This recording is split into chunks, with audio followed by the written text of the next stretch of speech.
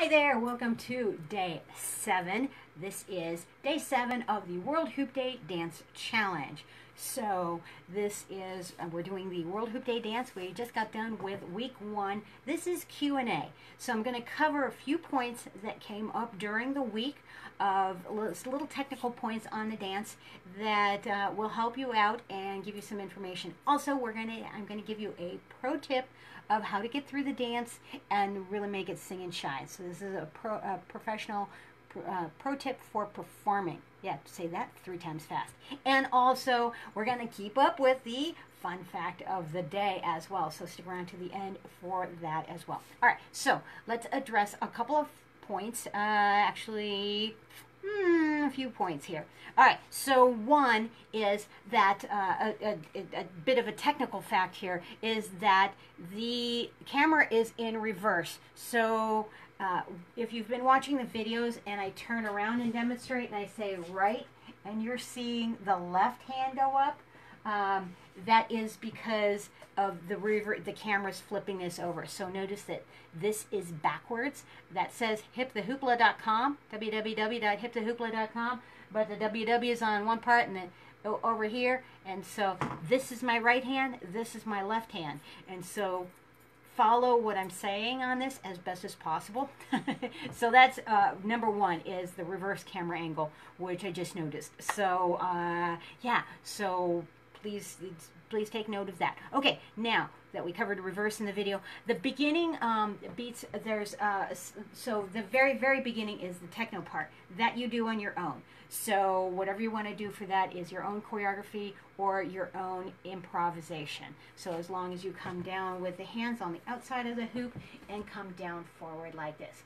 Now, the, uh, the part that I wanted to tell you about is that in the music, when you're doing these, if you get a little confused in the counts on this, uh, of going out and out, think of, listen to the music and hear the, the, the beats going down in the scale, like do, do, do, do, do, do, do, do, do. So they, they go up and they go down, and that's going to help you out with the musicality of getting where this is and the movements with the music. So that's part of the, the, the dance musicality is getting that together. So you're going to really move with this. So it's not just a, you know, really take this out, take this over, take this out, take this over. Wow. Reach up to the, the sky. Now, if you're in a small ceiling room like this, you may need to bend down if you want to get this full extension here.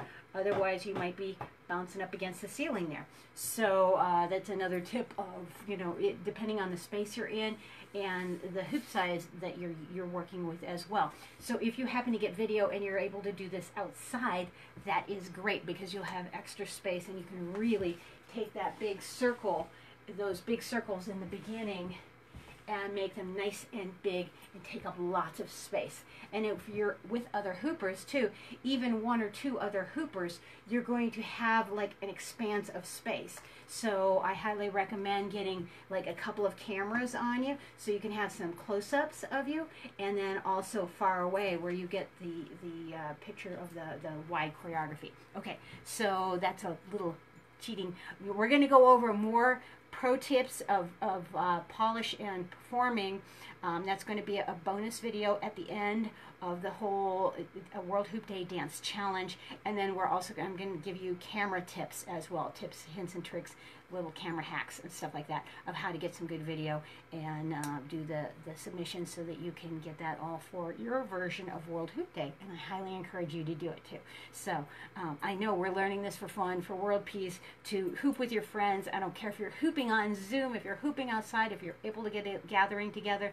If you don't know anybody around you, you're just doing it by yourself. That's okay. But know that the whole world is doing it at the same time of other hoopers in the world. That's what I mean. So we're trying to get as many hoopers in the world as possible. So if you know hoopers in another country, get a hold of them. Be a hoop ambassador. And uh, let's get at least 20 countries involved in this and 500, 500 hoopers across the globe at least. And uh, see if we, how many people we can get on there. I don't know how many people you can fit on a Zoom call, but you know, hey, go for it.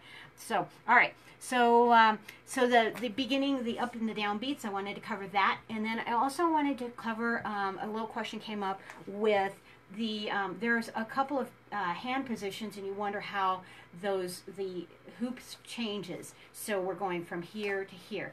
I call these slide switches.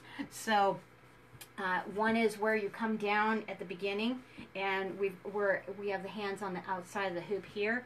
But to bring the hoop up here, we can't keep the hands on the outside of the hoop. So we're bracing the hoop against us, and there's going to be a slide little hand switch right there.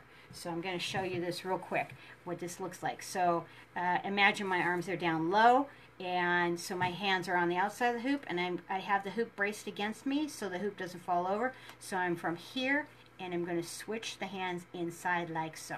So here, here, here, here. Okay, and so for here, here, that's going to help. And then there's another position where they switch, do, do, do, do, do, do, do, and there's another slide switch back to that first position on the outside where we bring this up and bring this out here, do, do, do, do, do. Okay, so those are a couple of little technicalities that I wanted to cover for the Q&A section today. And uh, let's see here. I think that is everything that I had in the questions, unless I have live questions coming in at the moment. But um, and you can still continue to answer. I will cover those in the further Q and A's. So if you have any parts, of, any questions on the dance of the the hoop dance, I don't care if it's what to wear, or whatever, whatever's comfortable, all that kind of good stuff. So anyway, hopefully that answered some of those questions for the World Hoop Day dance. And uh, yeah, I wanted to show you the musicality for that beginning real quick so I show you what I mean by those uh, the music upbeats and downbeats of how that goes. So let me back up the music. There's that first techno part, and you're just doing the your your own improv to that. But then we get into this slow part. Five, six, seven. Oops, one, two, three, four, five, six, seven, eight. One, two, three, four, five, six, seven, eight, and down. Two, six, seven, eight, and down. Two, three, four, five, six, and then reverse it.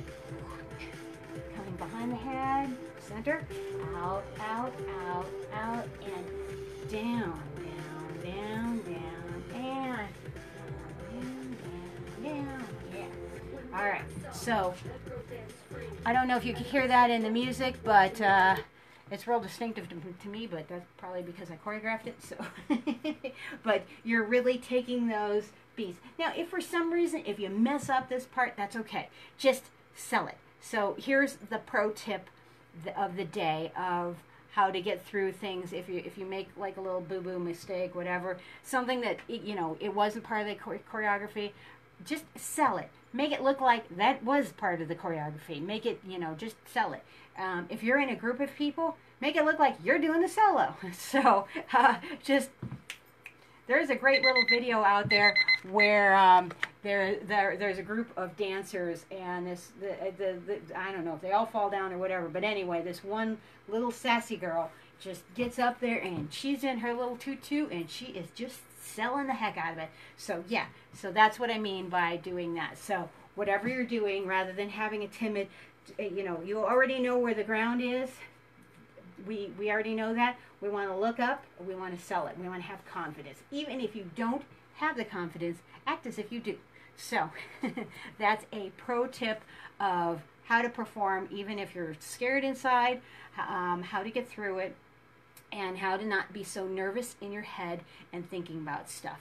Now here's a fun fact. If you're so a lot of times when we are hoop dancing and doing things we have a thing called flow face so flow face is kind of flow face come come in a variety of sizes and styles and shapes and all kinds of just wackiness.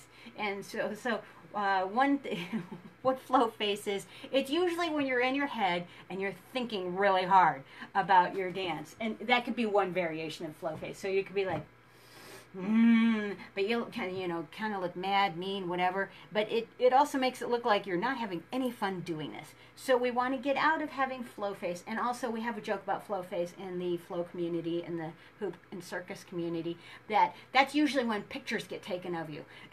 so the more you can not have flow face and have just a smile or a, a really cool look about the enjoyment of doing the flow, you know, that is going to work out much better for you than having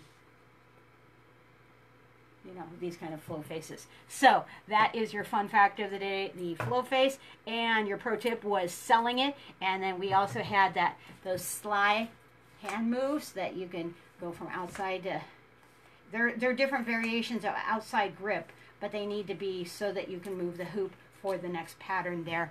And then working with those counts in the music on the downbeats and the upbeats. And also knowing that this camera is in reverse. So when I say right, I'm going up to the right. You could just mirror it by just looking straight on.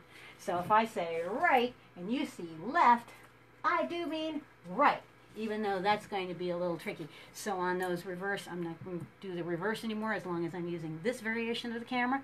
So anyway, all right, so I hope you enjoyed this uh, little Q&A session of answering these questions. Again, if you have more questions, please type them in. Let me know what what's coming up for you, how you're liking it, all that kind of good stuff. And uh, also, be a hoop ambassador in the world. So share this with other people, and uh, let's get some other countries involved uh, lots of other countries. I know hoopers all over the world.